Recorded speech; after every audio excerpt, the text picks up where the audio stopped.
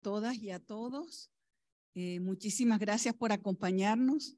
Me corresponde ser moderadora y voy a empezar por moderarme yo misma porque ya se acerca la hora del almuerzo y estoy segura que vamos a querer rápidamente salir. Así que yo quiero dar la bienvenida a Norma Rivas. Por favor, que nos acompañe acá. A Neri Agustín. A Claudia Gasolo, a Miriam Ramírez y a Claudia Dubón, quienes son las y los integrantes de este panel.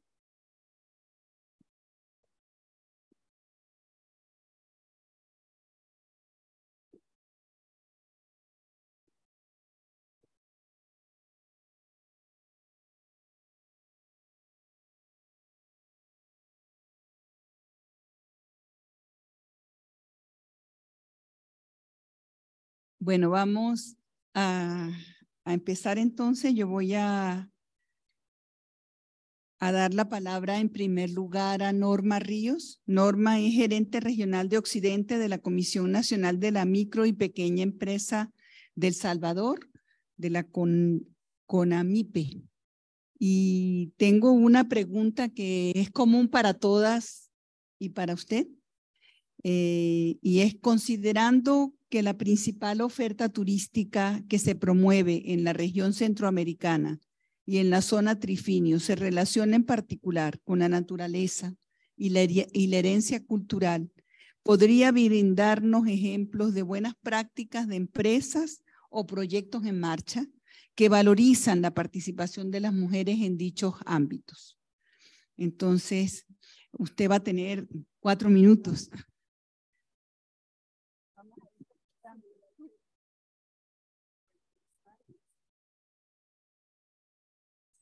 Buenas tardes. Este, eh, para mí es un gusto estar aquí con ustedes. Eh, gracias por quedarse a este panel. Sé que a esta hora pues ya hace un poquito de hambre, ¿verdad? Pero va a ser muy interesante. Yo represento la CONAMIPE. Es una institución autónoma, ¿verdad? Es del gobierno central de El Salvador. Y esta mañana pues les manda un saludo nuestro presidente Paul Steiner, por motivos de salud, él no puede estar con ustedes. Sin embargo, pues eh, estaré yo comentándoles. Nosotros como CONAMIPE tenemos eh, una intervención bastante fuerte en la región Trifinio. Ahí hemos trabajado con iniciativas productivas desde el 2015 a la fecha. Trabajamos con diferentes programas. Iniciamos con un programa que fue para nosotros muy exitoso, que era Juventud Emprende. Juventud Emprende tenía un objetivo principal que era atender a mujeres y a jóvenes y deberíamos y teníamos que atender el 60% mujeres y el 40% eh, hombres. Nuestra sorpresa fue que en esta región pues tuvimos tres sectores muy importantes que fueron los que mayor destacaron y fue turismo, alimentos y bebidas y logística. Son los tres sectores que destacaron en la región. De ahí nacen muchos servicios que los que conocen el norte del departamento de Chalatenango, los que ya han podido ir ahí, pueden tener una gastronomía diferente, tienen una oferta turística diferente, tenemos guías turísticos, ¿verdad? Que están en esta zona. Y luego, por el, lado occidental, tenemos a Santa Ana, que también tenemos otras iniciativas muy buenas en la parte logística y alimentos y bebidas. Pero cortamente quiero contarles un emprendimiento. Ella eh, vive en un cantón, se llama el Cantón Río Chiquito, es en el departamento de Chalatenango. Ella inicia con nosotros, eh, se somete a un proceso de seis meses de formación, en donde ahí se le construye y se trabaja con ella todas las habilidades blandas, pero también las habilidades empresariales. Y ella pone su negocio, gana 2.500 dólares y pone su negocio en el cantón. Río Chiquito. ¿Quién conoce de aquí el Río Chiquito? La de Chalate, por supuesto. Ok, muy bien. Ah, tenemos la alcaldesa de aquí de, ah, muy bien, muy bien, qué bien, qué bien. Entonces la van a conocer. El sabor de mi tierra es una emprendedora que ella trabaja mermeladas de melocotón, dulce de melocotón, de fresa, de la fruta que esté en temporada. Pero ella sigue actualmente desde el 2016 que empezó a formarse con nosotros, sigue actualmente y como tengo muy corto tiempo, les quiero comentar que ahora es dueña con su esposo de unas cabañas que están ahí mismo en Río Chiquito. Muy bien, así es. Un fuerte aplauso para esta mujer que realmente, ¿verdad? Realmente supo aprovechar esas oportunidades y así yo puedo contarles miles de experiencias que tenemos nosotros como CONAMIPE apoyando a, mujeres en el territorio.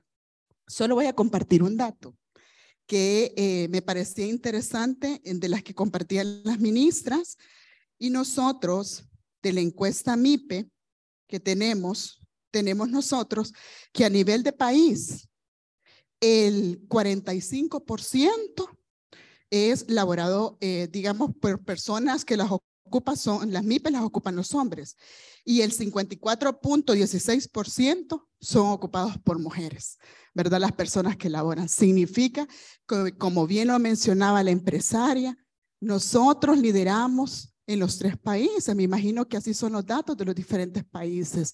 Y para nosotros como institución, lo que necesitamos es empoderarlas y tener más ejemplos como el que les acabo de mencionar, porque solo así vamos a poder nosotros salir adelante y mejorar la calidad de vida de estas personas.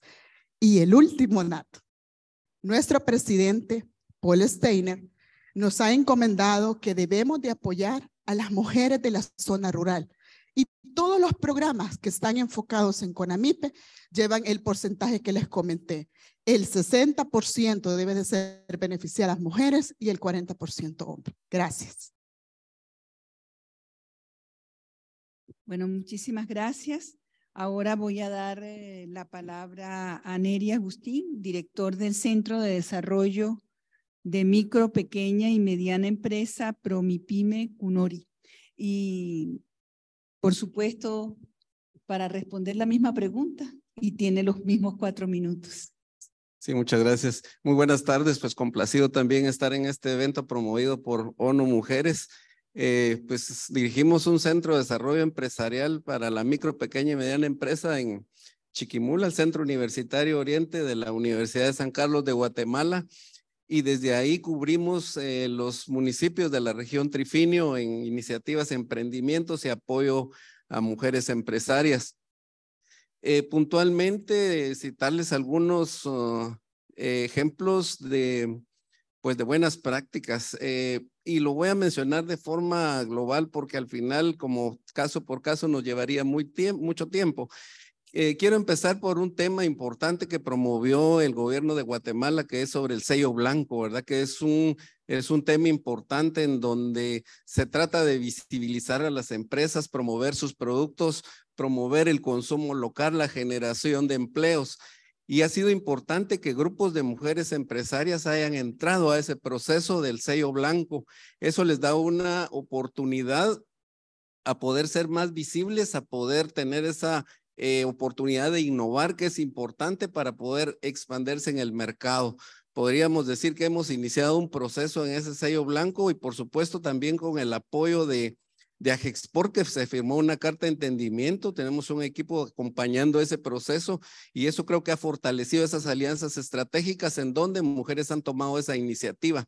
También quiero mencionarles el tema, eh, bueno, hemos hablado mucho de asociatividad, pero realmente eso, decirles que en la zona de nuestra, en, en Oriente de Guatemala, pues ha costado un proceso el tema de asociatividad, sin embargo hemos incursionado al tema de redes redes empresariales, redes de mujeres empresarias, y eso nos ha dado mucho resultado. Eh, comentarles la parte principalmente de mujeres artesanas que se han integrado, han, eh, eh, a través de esa cooperación, sumado esos esfuerzos para aumentar la producción y atender los pedidos de mercados más amplios. Muchas de nuestras artesanas pues ya están atendiendo pedidos que se hacen a tiendas mucho de mayor complejidad y eso da oportunidad a tener una producción permanente, a ir integrando más más mujeres. Entonces, las redes de mujeres empresarias me parece también una buena práctica.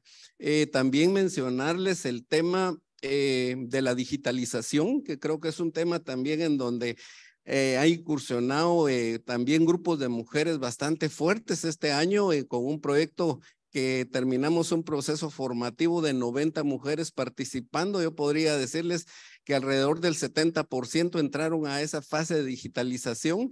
Estamos terminando hace un par de semanas un proceso más con 90 mujeres del sector MIPYME y que también estamos visualizando la necesidad, pero sobre todo la intención de las mujeres a entrar a ese proceso de digitalización eh, y esto a eh, procesos formativos ya no tan tradicionales, sino aprender haciendo, es decir, en procesos donde llevan acompañamientos de un tutor, donde puedan ellas mismas construir sus redes sociales, por ejemplo, utilizar algunas herramientas. Eh, para llevar controles, por ejemplo, de clientes, algunos costos, lo básico. Pero eso creo que es una incursión bastante importante en donde ya se puedan ir familiarizando con ese ámbito. También otro tema que hemos visto que se ha estado desarrollando es las mujeres que han estado participando en la parte agrícola en la producción de vegetales, la parte del café, en la producción de miel. Pero la cuestión particular ahí que lo vemos como una práctica, una buena práctica es la incursión en la producción de este sector, eh, diríamos en la parte orgánica, ¿verdad? Que es un mercado todavía eh, muy atractivo, que, que tiene muchas posibilidades, pero cómo utilizar los insumos orgánicos, por ejemplo, para que esos productos tengan fácil acceso en el mercado, pues ya hemos visto muy buenos resultados, por ejemplo, en la miel, hemos visto resultados en el café. Estamos tratando de impulsar los vegetales también con un potencial bastante fuerte, incluso en una zona que pareciera que no es de vocación agrícola en este tema de vegetales, pero estamos descubriendo que sí hay una posibilidad muy fuerte de poder producir este tipo de productos. Y bueno, pues hay muchas cuestiones que indicar, pero así en forma general podríamos decir las prácticas eh, digamos, buenas prácticas eh, o, casos eh, que, pudieran ser ejemplares, digamos, en, en, mujeres empresarias y emprendedoras. Muchas gracias. Muchísimas gracias, Neri. Ahora voy a dar la palabra a Claudia Gasolo, presidenta del Comité de Turismo de la Cámara de Comercio e Industria del Salvador. Muchas gracias y muchas gracias a todos por estar aquí con nosotros, acompañándonos. Eh, Formar parte de este panel para mí fue muy importante porque me tocó estudiar mucho. Si bien soy salvadoreña que tiene más de 13 años de experiencia en el sector turismo, no sabía mucho del trifinio, así que me tocó estudiar bastante. Sí sé que es un triángulo conformado por tres países, Guatemala, El Salvador y Honduras, que nosotros como El Salvador tenemos ocho municipios y quiero poner como un ejemplo de mujeres dos proyectos bien importantes. Uno en San Ignacio, Chalatenango, que es el agroturismo. Ahí las mujeres lideran la siembra de hortalizas, la siembra de flores, están totalmente empoderadas y hacen un agroturismo espectacular. Por el otro lado, no puedo dejar atrás La Palma Chalatenango, con sus artesanías tan lindas que tienen, tanto en, madera como en bordado, que ya son patrimonios de nuestro país, con, reconocidos en todo el mundo. En cuanto a un ejemplo de proyecto, como me tocó estudiar también, creo que es bien importante mencionar Melit. No sé si se pronuncia Melit, Melit, no sé, pero me encantó porque al solo leer Melit, Melit, Melit, ¿qué quiere decir? Descubrí que quiere decir mujeres, economía local y territorios. Eso es maravilloso, que una ONG abarque esos tres puntos, mujeres, economía local y territorios. Y me fascinó el tema, no solo por lo que dice su, eh, su nombre como tal, sino que porque va más allá, más, va más allá del, del empoderamiento económico, va más allá de capacitaciones de las mujeres y de desarrollo económico local. sino que también en tiene muchas iniciativas en las que nos se preocupan por trabajar y apoyarnos en que las mujeres tengamos un trabajo remunerado y digno, en igualdad de condiciones, sin violencia y con redistribución de las tareas de cuidado, su acceso a los activos productivos y la tierra, su acceso a la tecnología y mecanismos ahorradores de tiempo y energía, su articulación con las dinámicas territoriales urbano y rurales, su capacidad de gestión de entornos complejos. Todo esto es verdaderamente tan completo para nosotras las mujeres que me sentí muy feliz de que existan un tipo de programa de apoyo como este y ojalá que se multipliquen en todos nuestros países y que no se quede hoy por hoy solo en la zona del Trifinio. Muchas gracias. Muchísimas gracias, Claudia. Ahora voy a dar la palabra a Miriam.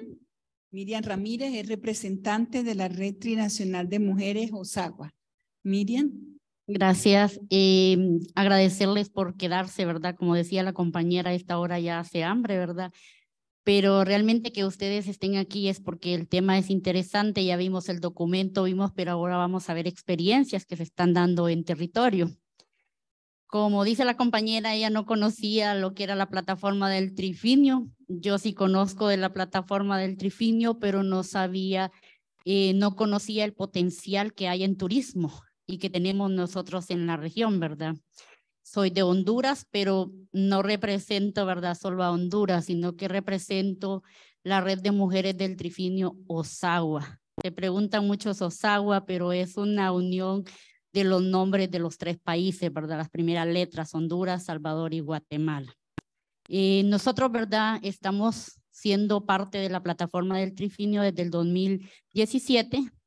Nos creamos un pequeño grupo de mujeres para poder reivindicar a las mujeres rurales en la región Trifinio, lo cual hemos ido, ¿verdad?, posicionándonos dentro de la región y no solo ahí, sino también fuera de nuestras fronteras. Creo que en la región tenemos muchas experiencias que contar y experiencia, historias de éxito, de cuántas mujeres han sobrevivido, pero todavía no se han visibilizado a través de la cadena de valor del turismo. Y para nosotros una de las experiencias más grandes que tenemos en la parte de Honduras y región Trifinio es, ¿verdad?, em, hacer el turismo rural a través de la producción de café, ¿verdad? Que también es una cadena de valor que también la tenemos muy fuerte en la región, ¿verdad? Y una de las oportunidades más grandes es una compañera que a pesar de que el esposo tiene empresas, ella decidió montar su propia empresa en una finca. Y plantar una finca, una parte de su terreno y luego poner ya como un centro turístico que le ha dado muy, buen funcionamiento y está en una zona rural, prácticamente en un municipio, pero es bastante rural. Pero ella allí atiende desde la cadena de valor de café, que da todos los servicios de, del café, también, ¿verdad? Da lo que es mm, el cuidado y porque ha puesto su, una estética, también tiene lo que hace poco construir unas pequeñas cabañas donde da alojamiento a personas. No es muy accesible, donde puedan las personas quedarse, pero ella les da ese alojamiento, ¿verdad? Entonces, creo que esa es una de las historias de éxito que nosotros tenemos y así como implementamos ahí en el mismo lugar lo que son las ferias del sábado, les decimos nosotros, ¿verdad? Porque ahí todas las mujeres que están en la región pueden ir a mostrar sus productos. Al inicio y todavía tenemos una barrera ahí.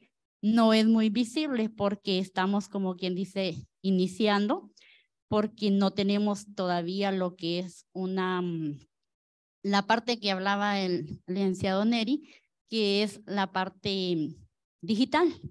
Todavía tenemos esa barrera que las mujeres no sabemos, voy a decir, soy del área rural, no sabemos mucho utilizar las redes sociales, la parte digital. Entonces creo que desde ese punto de vista, nosotros debemos de implementar. También hay otra particularidad de la región Trifinio, es que comentábamos con el compañero Alejandro, que estamos tan lejos de las capitales de los países. Y eso es una gran limitante que nosotros tenemos en la región, porque a pesar de ser una plataforma muy grande, eh, son varias horas para, llevar, para llegar a las capitales. Entonces, los tomadores de decisiones están allá, en las capitales. Entonces, necesitamos, ¿verdad? Como parte de, de este éxito, que lleguen a nuestro territorio, que vean lo que nosotros estamos haciendo en, en el territorio trifinio. Y como red de mujeres, nosotros tenemos miles de emprendimientos, miles de historias de éxito donde las mujeres están transformando su producto del café, que eso es algo muy atrayente para las mujeres, muy difícil también de poderlo poner a un mercado, como es transformar la pulpa de café en bebidas, en harinas, en todo eso, ¿verdad? Eh, es muy atractivo, pero también muy difícil de posicionarlo en un mercado. Tenemos también muchos emprendimientos que se están llevando a cabo a través de talleres vocacionales. Nosotros, ¿verdad? Así como hacemos transformaciones de diversos productos, en toda la cadena de valor del café transformamos productos. Necesitamos marcas, que se cree, ¿verdad? Una marca territorial, decíamos nosotros. He aprendido mucho hoy. Aquí tengo un montón de anotaciones que llevamos para poder ver qué acciones vamos a hacer. Pero comentarles que como red de mujeres, nosotros sí queremos llegar a más en el turismo, aprender mucho. Somos inexpertas, diría yo, en el turismo. Estamos apenas conociendo, fue un reto venirme a sentar aquí, realmente como red, porque de turismo no tengo mucho conocimiento, pero es, estudiando y aprendiendo hoy muchas cosas, ¿verdad? Y que van a ser replicadas en nuestra región. Y creo que una de las factores más importantes que nosotros como mujeres tenemos es que a través de estas historias de éxito podemos llegar a más mujeres. ¿Por qué? Porque somos como la visión de las mujeres. Y también aquí eh, la equidad de género, la lucha contra la violencia y la cadena de valor del turismo. Por todo lo que hemos visto hoy, yo he entendido que puede ser una puerta abierta para las mujeres que están sufriendo violencia. Podemos erradicar la violencia desde la cadena de valor del turismo, porque podemos mostrar, podemos enseñar a las mujeres, empoderar a las mujeres en el turismo, porque una mujer que no esté empoderada económicamente nunca va a salir de una violencia. Y eso es algo real que deben de irse en, a, la, a la mano, a la par. Si vamos a, a erradicar violencia, si vamos a empoderar, si vamos a tener el liderazgo, pero también el empoderamiento económico de las mujeres a través de la cadena de, valor del turismo puede ser muy importante. Muchísimas gracias, Miriam. Y ahora para cerrar esta primera ronda, voy a dar la palabra a Claudia Dubón. Ella es líder de crecimiento económico en proyecto de USAID para la competitividad económica del Grupo Palacio. Muchas gracias. Em, quisiera agradecer a UNO Mujeres la, la invitación que, que, me ha hecho este día para compartir con ustedes eh, las buenas prácticas eh, que a través de estos casi siete años de proyecto hemos venido desarrollando en diversos ámbitos para las pymes. Eh, mi proyecto tiene dos grandes áreas. Un área tiene que ver con el trabajo con las pymes directamente que es el área de crecimiento económico de la, cual yo lidero, y otra área que tiene que ver con el clima de inversión, en donde trabajamos principalmente con el gobierno eh, para eh, desarrollar acciones y políticas para mejorar el clima de inversión y que las empresas puedan desarrollarse.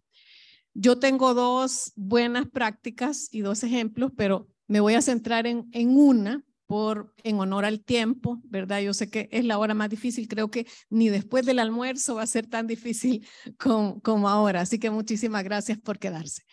Eh, nosotros tenemos aproximadamente cinco años de estar trabajando con el sector turístico en diversas iniciativas, ¿verdad? Muchísimas iniciativas. Claudia es parte de, varias de esas iniciativas, ¿verdad? Hemos trabajado transformación digital, calidad y una serie de aspectos. Pero hoy quisiera comentarles eh, una iniciativa que más que buena práctica tiene muchos retos, ¿verdad? Porque no solamente debemos hablar de lo bueno, sino también de las oportunidades de mejora. Nosotros, eh, a la par de, del gobierno y de su programa de Surf City, eh, hemos apoyado la certificación de dos destinos turísticos dedicados específicamente al surf para eh, calificarlos como destinos de surf sostenible. Sabemos que el turismo, dentro de los grandes retos que tiene, ¿verdad? Es crecer de manera sostenible, ¿verdad? Y ese crecimiento, a veces desmedido, muchas veces mina los recursos naturales comunitarios o culturales de los destinos turísticos. Entonces nosotros empezamos a buscar a través de todos los programas que, que hemos impulsado, uno que nos permitiera que ese crecimiento fuera sostenible y encontramos una certificación específica de surf sostenible, ¿verdad? Mediante la cual eh, se tuvo que hacer todo un fortalecimiento de las organizaciones locales. Comenzamos con las organizaciones empresariales. Le dimos forma jurídica a la Asociación de Empresarios de estos dos destinos, ¿verdad? Uno es el SONTE, así que si quieren visitarlo, por favor, están cordialmente invitados. Eh, no solo hay surf ahí, sino hay muchos recursos comunitarios. Y el otro es Oriente Salvaje, en el oriente del país, ¿verdad? Que crearon su asociación eh, de empresarios turísticos en cada una de las zonas, ¿verdad?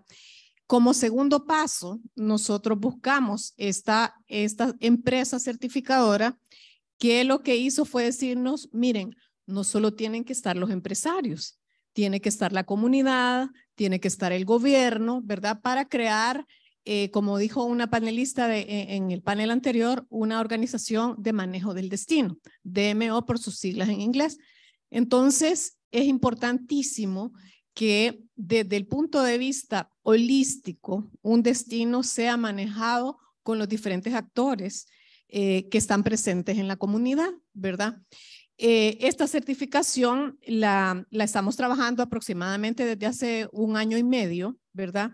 Eh, a través de una empresa estadounidense que se llama Stoke y que ha venido ya dos veces a fortalecer y a capacitar a las organizaciones locales, no solamente a los empresarios, ¿verdad? En cuáles son esos indicadores que tiene que cumplir el destino turístico para poderse certificar como un destino sostenible de surf en este caso.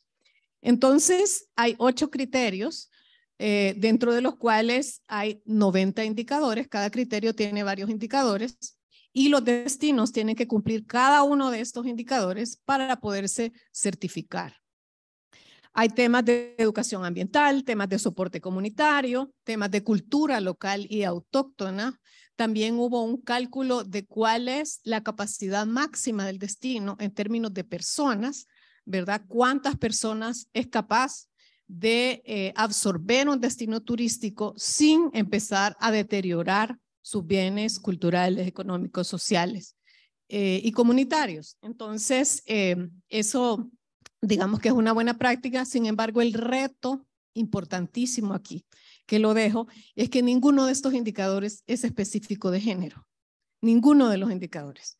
Entonces, yo creo que es importante que más allá de la participación, porque la participación porcentual es importante, todos nuestros programas y proyectos que impulsamos tienen un mínimo de participación de 40% de mujeres. Y eso en pymes es invariable. Las pymes más pequeñas son lideradas por mujeres. Cuando ya vamos a empresas más grandes, esa es otra historia, ¿verdad? Pero además de eso, el enfoque va más allá de la participación va a partir de las particularidades de las mujeres y su acceso a financiamiento, a redes sociales, a educación, etcétera, ¿verdad? Entonces, más allá de la participación, creo que es importante tomar en cuenta indicadores específicos que hagan realmente progresar a las mujeres en términos de empoderamiento en todo sentido. Muchísimas gracias, eh, Claudia, y quiero agradecer a todas y, y a usted por eh, haber eh, respetado el tiempo. Y antes de pasar a una segunda preguntita que les voy a dar solamente dos minutos o un minuto y medio, muy rápidamente quisiera hacer un, repaso de, lo, de los puntos más importantes, ¿verdad?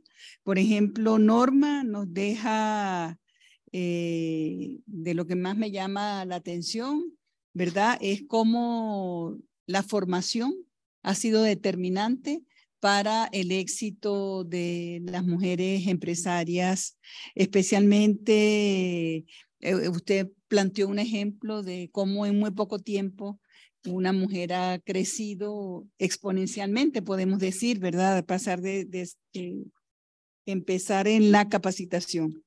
Eh, en cuanto a Neri, pues él nos habló del sello blanco, de que, es para promocionar y lo importante que esto ha sido para las mujeres, pero también yo me quedaría con lo de la formación de redes y el trabajo en alianza tanto con, con Agesport como con eh, organizaciones, la formación de redes y las alianzas con otros actores. Pero además de eso, la incursión en la producción especialmente en, la producción orgánica, que es un mercado pues que tiene mucho potencial. Entonces, eso por parte, en miel y café puso como los ejemplos que eran más exitosos hasta este momento. Bueno, Claudia nos habló de dos zonas en las que se está desarrollando una parte, todo lo que tenía que ver con la parte de flores y hortalizas, otras artesanías, eh, especialmente madera y, y bordado y habla de la integralidad del proyecto MELIT y de lo importante que usted cuando analizó vio porque cubre todos los aspectos, es un programa holístico. Eh, Miriam, bueno, Miriam nos habla de la, del gran potencial que tienen las mujeres rurales, pero además de eso, de la reivindicación para las mujeres rurales la incursión en, en, estos temas y eh, destaca eh, el trabajo que están haciendo, especialmente y el reto que significa de un producto como por ejemplo el café, sacar otros eh, productos y posicionar estos productos dentro del mercado. Habla de los retos que tiene en, en temas de digitalización, y ahí yo lo pondría a que se apoyen aquí entre, entre las panelistas, ¿verdad? Pero además de eso, eh, el desafío que tienen ustedes de que quieren incursionar más en el turismo rural, que lo ven como un gran potencial. Y finalmente, Claudia, bueno, Claudia nos habla del desafío que es la certificación de destino turístico sostenible y lo que significa poner a todos, a todos los actores, ¿verdad? A trabajar por ese turismo sostenible y la necesidad de incorporar indicadores de género en cada uno de estas, de estas, de estos, de estas certificaciones. Yo creo que en eso una Mujeres El Salvador puede ayudar. Así que ahora vamos a pasar a una segunda pregunta que son, están diferenciadas. Eh, en primer lugar, una pregunta para Norma y para Neri. Y les voy a dar un minuto y medio si es posible, o dos. Eh, y esta pregunta es, ¿qué planes estratégicos existen? ¿Y cómo puede ampliarse su alcance a partir de alianzas en espacios como este foro? Entonces, en primer lugar, Norma, tienes la palabra y luego le pasamos a Neri. Gracias. Pues eh, nosotros como CONAMIPE tenemos 33 puntos de atención en todo el país y de estos 33 puntos tenemos 6 puntos de atención en la zona del Trifinio.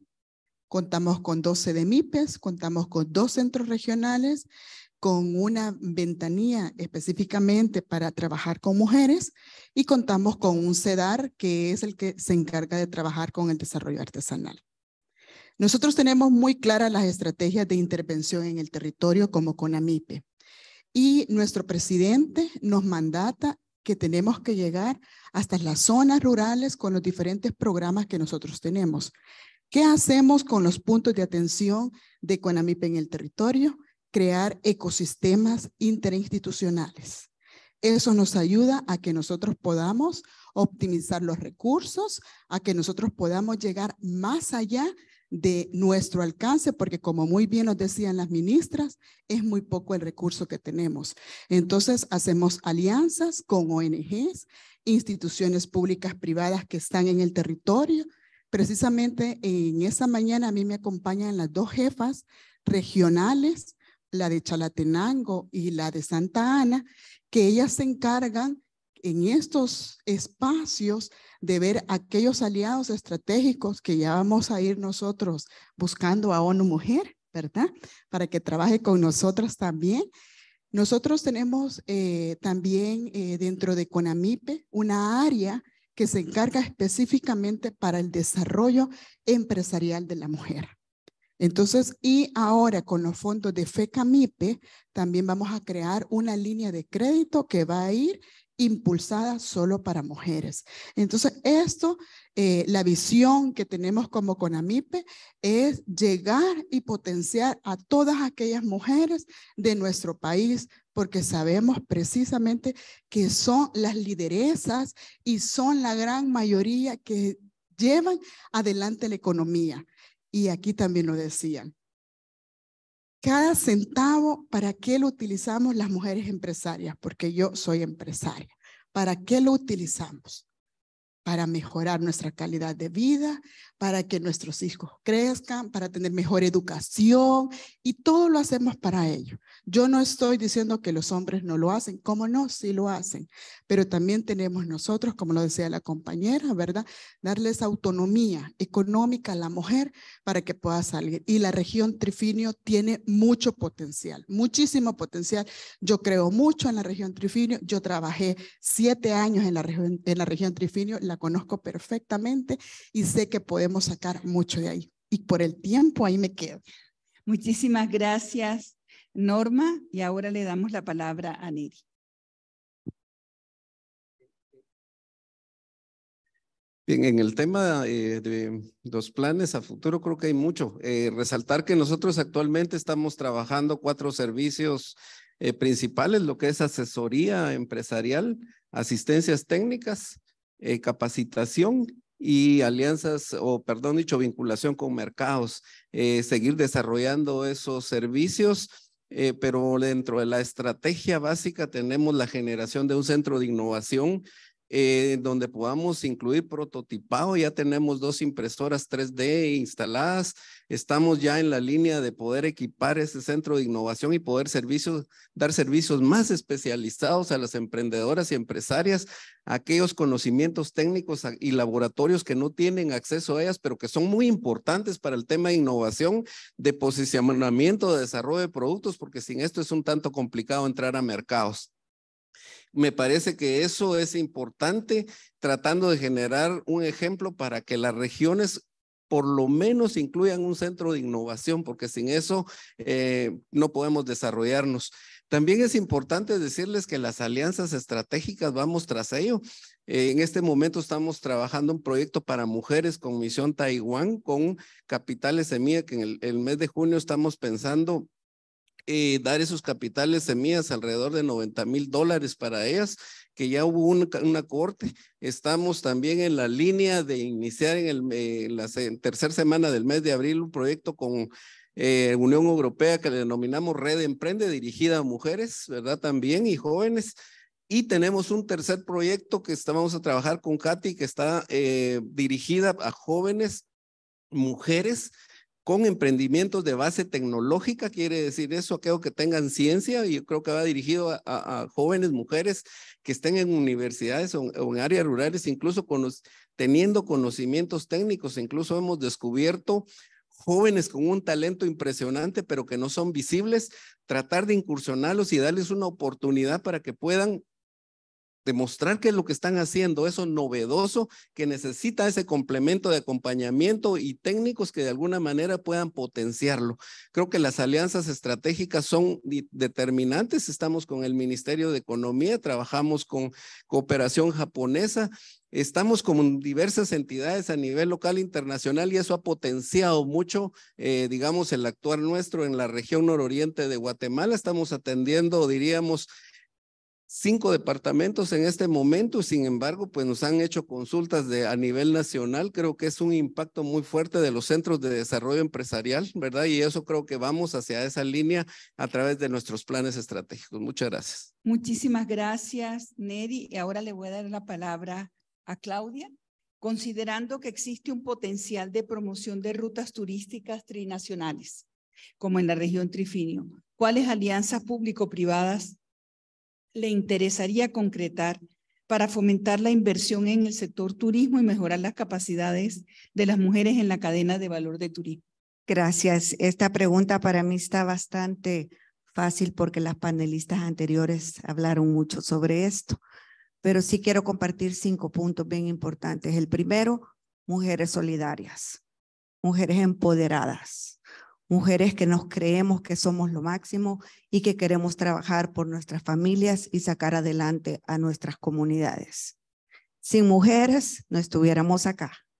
Segundo, las instituciones gubernamentales. Debemos definitivamente contar con el apoyo con las instituciones turísticas gubernamentales de cada país. Nosotros, eh, gracias a Dios, en el caso de El Salvador, no solo tenemos una ministra de turismo, muy empoderada, muy trabajadora con todo su equipo, sino que también tenemos un gabinete de turismo que la apoya constantemente y lo más importante, los empresarios nos sentimos muy apoyados porque es un ministerio de puertas abiertas. Tenemos comunicación continua con las autoridades del ministerio.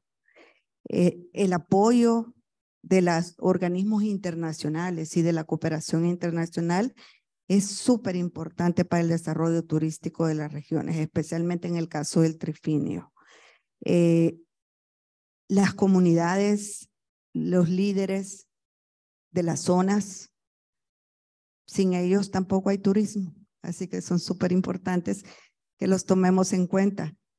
Eh, y también a la empresa privada por medio de sus diferentes organizaciones como las cámaras de comercio, las cámaras de turismo, las asociaciones de turismo, asociaciones de hoteles, hoteles pequeños, etcétera, tour operadores, la, eh, eh, los 360 grados que implica el sector turismo debe estar en todo este proceso. Así que yo solo les dejo el mensaje final, mujeres solidarias, sumemos, apoyémonos y sigamos creciendo juntas. Gracias. Gracias, gracias Claudia. Eh, Ahora voy a dar la palabra, gracias, eh, a Claudia. Sí, sí, te voy a dar la palabra a ti para terminar con Miriam. Prometo ser breve. La pregunta que, que tenemos es que, ¿quiénes son sus aliados estratégicos y posibles nuevas sinergias que esperan consolidar en espacios como este foro? Bueno, eh, hablar de, todo lo que hemos trabajado en, el sector turístico del proyecto, pasaríamos toda la mañana y toda la tarde, ¿verdad?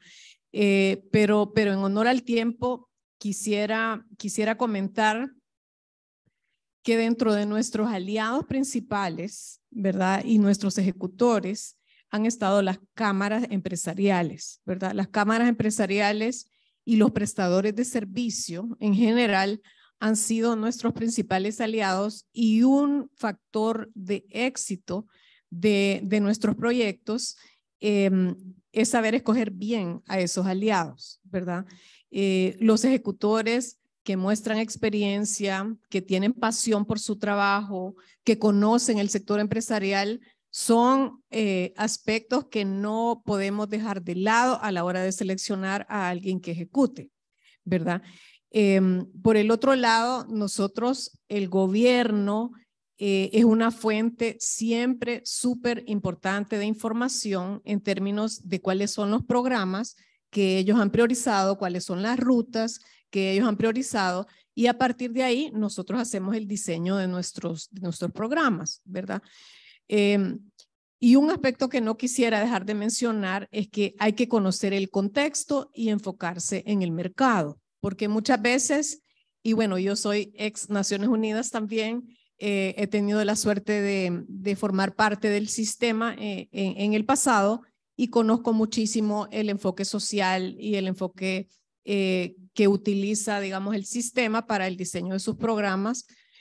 sin embargo, yo creo que el factor mercado es algo que no debe dejarse de lado, ¿verdad?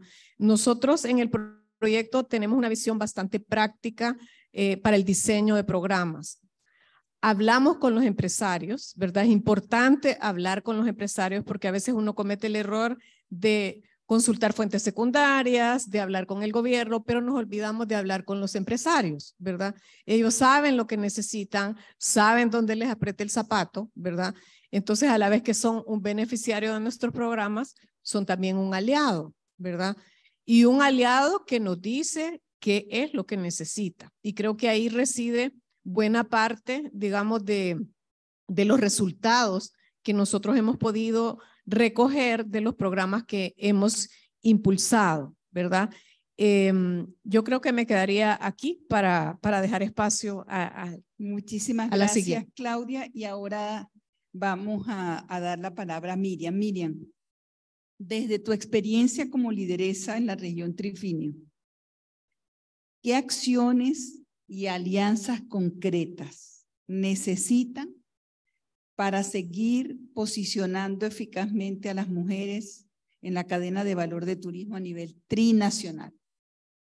Bueno, una pregunta muy difícil, ¿verdad? De, de responder, pero antes de responderla quiero eh, agradecer. Realmente me siento feliz y honrada de estar representando a las mujeres de la región Trifinio. Y somos cientos de mujeres rurales, voy a decir que la región Trifinio tiene bastante ruralidad, donde las mujeres eh, realmente estamos haciendo acciones para cambiar, para poder eh, hacer innovaciones, poder incursionar en el mundo del turismo y en las diferentes cadenas de valor, ¿verdad? Eh, vemos que el turismo, como el café, tiene diferentes eslabones en el cual las mujeres, ¿verdad?, debemos de participar. Y creo que es una satisfacción estar hoy aquí. He aprendido mucho.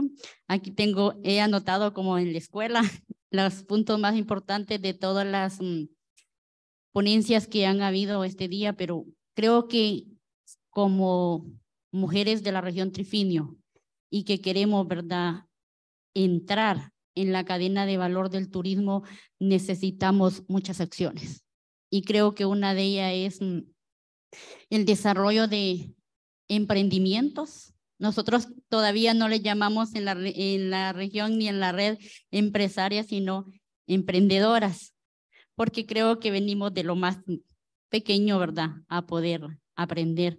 Sería como el desarrollo de emprendimientos donde se puedan mostrar a las mujeres que pueden transformar la materia prima en un producto terminado y que puede ser factible en la cadena de valor. Otro sería como otra acción, la capacitación especializada para poder, ¿verdad?, transformar e innovar productos. Tenemos mucho turismo, pero no sabemos cómo innovar. Y creo que esa sería una acción muy fuerte que nosotros, ¿verdad?, la hacemos como eh, ver en la región. También sería otra acción es generar financiamientos eh, accesibles a las mujeres, porque tenemos la particularidad que sí hay financiamientos, pero no están muy accesibles a las mujeres. Una, por la tenencia de un documento que nos garantice, ¿verdad?, de que nos puedan facilitar un préstamo, como les decimos nosotros. Entonces creo que sí es bastante difícil la tenencia de tierra también es algo que nos afecta porque no somos propietarias. Tenemos nuestras parcelas que podemos transformarlas en Honduras. Tenemos muchas parcelas turísticas eh, lideradas por mujeres, pero cuando necesitamos acciones no podemos porque no somos las dueñas de los de la tierra. Entonces no podemos acceder a un financiamiento, ¿verdad? Y esa sería una gran acción que se puede hacer para poder entrar, que las mujeres tengan más acceso a créditos para entrar en la cadena de valor. Y creo que como alianzas también tenemos unas cuantas que reflejar hoy sería como registrar una marca de territorio, le decimos nosotros, o una guía turística donde podamos acceder a vender nuestros productos a un mercado donde sea bajo una misma denominación. Porque tenemos, siento que debemos de hacer como una recopilación de toditita las marcas que tenemos. Hay cientos de marcas, por ejemplo, de muchos productos, pero necesitamos como centralizar una marca de territorio, donde el trifinio pueda crear su propia línea de, de turismo en estas marcas y la podamos nosotros, ¿verdad?, vender como una denominación territorial. Esa sería como una de las grandes alianzas que digo yo que podemos acceder.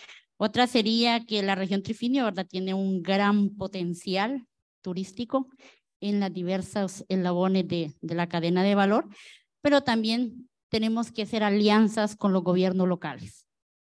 Creo que lo más cercano que nosotros tenemos, los gobiernos locales, y ellos pueden ser proveedores, pueden tener ese acceso a la toma de decisiones y a liderar estas grandes alianzas que puedan favorecer a la cadena de valor del turismo.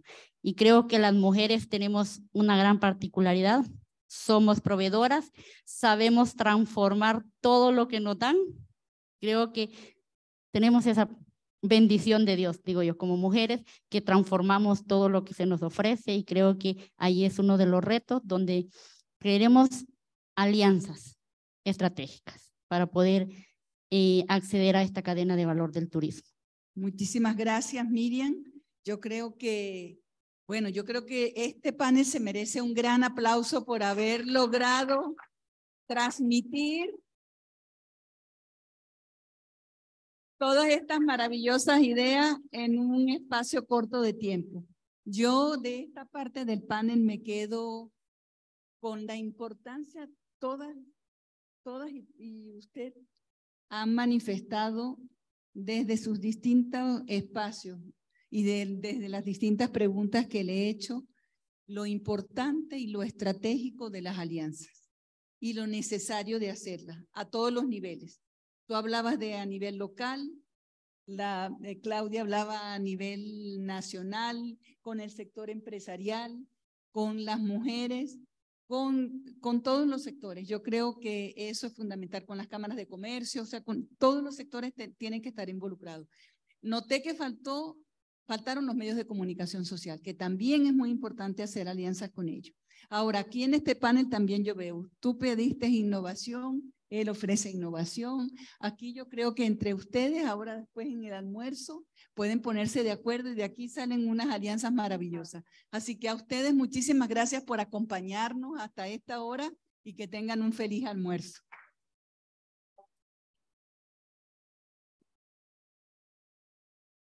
Gracias, Moni, por moderar este panel. Gracias a, las personas participantes. Y bueno, les, les pido por favor que nos acompañen al almuerzo que va a ser servido en la zona de los ranchos, cerca de la piscina. Y tenemos para eso 45 minutos porque después seguimos con el siguiente panel. Les agradezco.